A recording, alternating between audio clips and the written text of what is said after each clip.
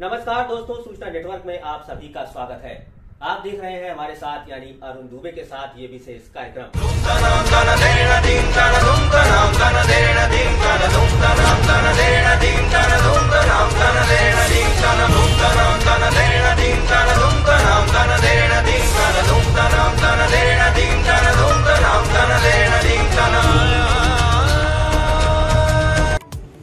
उत्तर प्रदेश, प्रतापगढ़, कुंडा से इस वक्त की खास खबर।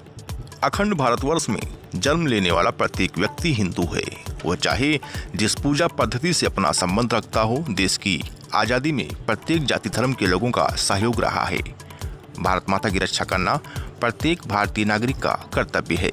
ये बातें कुटुंब प्रबोधन प्रमुख विश्वनाथ त्रिपाठी ने आज अमृत महोत्सव के उद्घाटन समारोह में कहा।